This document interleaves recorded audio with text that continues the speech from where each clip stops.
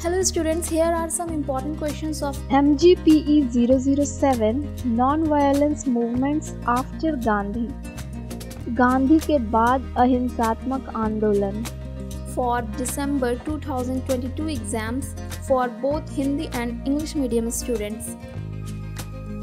And this is a subject or paper for the students who are pursuing their Masters in Political Science offered by IGNOU University and who are in their second year preparing for the December sessions examinations.